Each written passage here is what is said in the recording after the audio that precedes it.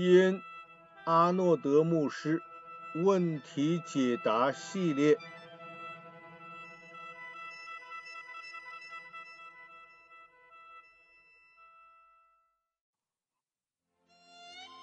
何为救赎？所有人都能得救吗？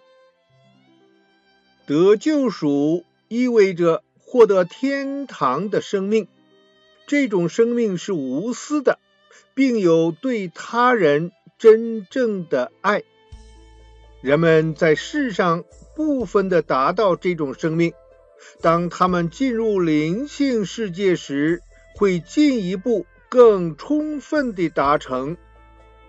这就必须为人处事时拒绝并抵制以自我为中心。和自我满足。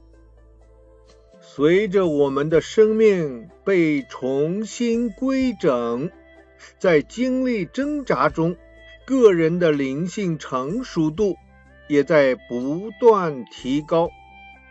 这个过程中，主能够给人一个新的生命，其中有深刻的喜悦与幸福。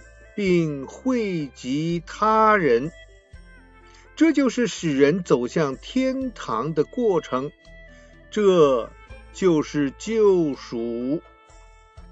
所有的人都可以拥有这种快乐和幸福。所有的人，无论身在何处，不管他们是否基督徒，都可以被引导进入这样的生命。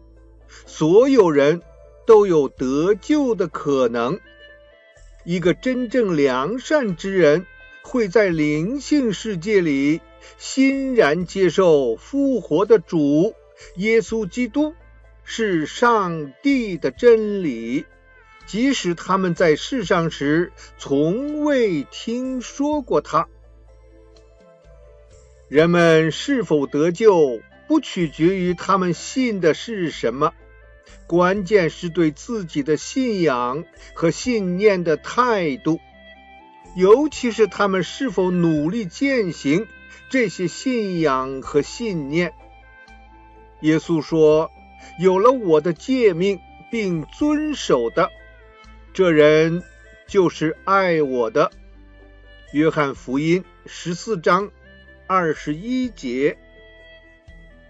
并非所有的宗教、哲学和道德准则都同等为真理，但主通过人们持有的不同信仰和信念，以及他们努力追求的理想来运行其中，引导他们获得上帝的救赎和幸福。